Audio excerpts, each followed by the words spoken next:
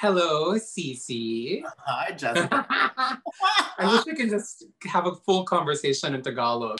Let's start by uh, you, uh, with you introducing yourself to GAPA.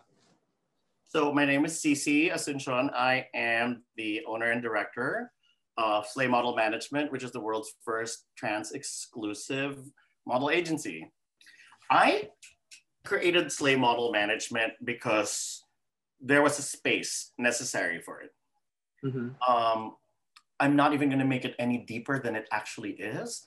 When I started to meet a lot of trans people, Yeah. I grew up with the supermodels. I'm 44. You know I mean? Like, I just remembered physically, I'm like, all right, a lot of them have a lot of the same features. They have long necks, they have high cheekbones, the jawlines.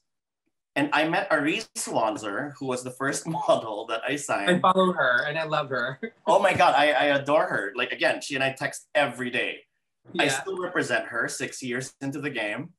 And she's my ground zero. What it was like for the trans community that you represent and you're a big advocate for during uh, the Trump era, and Okay. what we are really hoping that Biden will help us change, knowing that he's the new president. When when Slay started, we were under the Obama administration. Yeah. Um, and it was great. But we did a lot of trans 101 by way of strut.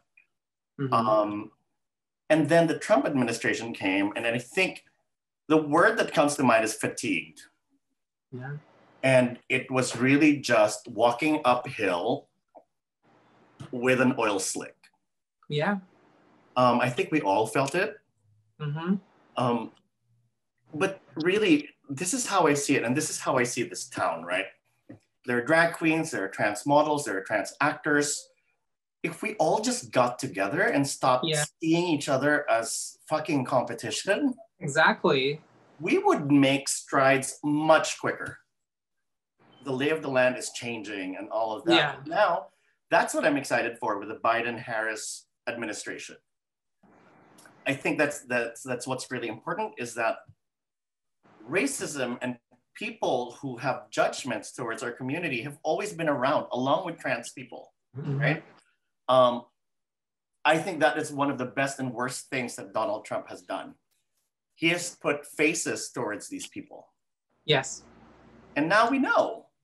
You know what I mean? We know. Yeah. So we have to come from a place of there's always something good that comes from the worst things. What do you see, or what are your um, trans uh, clients? Uh, how do they feel about uh, not, or about drag in, in and trans not being inclusive?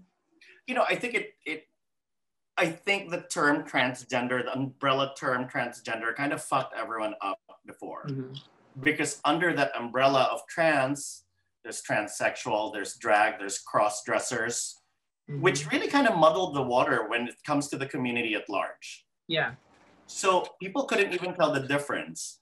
And when Slay started, I had a lot of trans 101 that I had to do because I had to go and explain to casting directors. Mind you, this was 2016. This wasn't so far ago. The good thing I think is a lot of us community members have done Trans 101 and really laid down the groundwork, right? Mhm. it was kind of like first period. Like, all right, we did Trans 101, and now we're getting close to recess. it's like, oh my God, Yeah. we have some fun now. I want to talk about uh, Slay and the trans community in fashion. Okay. And Arisce, for example, has been breaking grounds. Yeah. Let's talk about that. I think, you know, that's the thing. I think people are, are slowly but surely figuring it out, right? Don't hire trans people because it's on trend or it's a zeitgeist thing. Do it because you really believe in it. You know, but Yes. what I always will do is I will always stand by my models. Um, every job, whether when they book it, I always ask them, "Are you comfortable doing this? Do you want to Yeah. do this?" Congratulations, though. I feel like it's it's a home that people would want to belong, and and that alone says a lot. And you representing them and you finding gigs for everybody, that already is a good representation. You know, thank you for that. It, it's everybody does their part, right? It, it mm-hmm. was, I think for the longest time, that was what I wanted people to know that it's, I'm not, this isn't a nonprofit organization. Talk to me about how you first heard about GAPA and how you're excited to work with GAPA in our org moving forward you know, I'm, I'm always here. It's like, I, I would love to judge. I would love to see what talent is out there. I am excited with working with GAPA because what you've done for years and years, mm-hmm. you know, it, it's a legacy. Yeah. And I respect that. You know, I mean, I just came along like I'm, I'm like a few years ago, right? And I want to use the privilege or, or that what I've done again to like why not why not partner up to further the cause? And it's really about relationship building and really us, again, as a community, we have to get this shit together. And to support each other for the most part. Yes. Yeah, we have to support each other because if you don't do that, it's hard enough as it is. Yes. It is tough enough as it is to do it alone. And we have to band together, support yes. one another, push each other to be better, Yes. Um, and really be kind. You know, it, it's that's true. I like that. I, I just going back to your initial statement. It's it's not worth being nice. It's more substantial being kind. Yeah.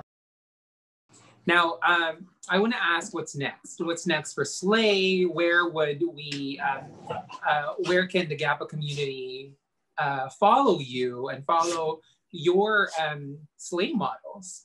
You know, it it's really easy. Uh, in, in, on Instagram, it's at Slay Models LA. And um, my personal one is at Yet Asuncion. And there's so much really with, with, with Slay. Um, Slay Model Search 2020 is coming out on Here TV and all the platforms in December. And I would love to be more, you know, part of GAPA. I, I, I would.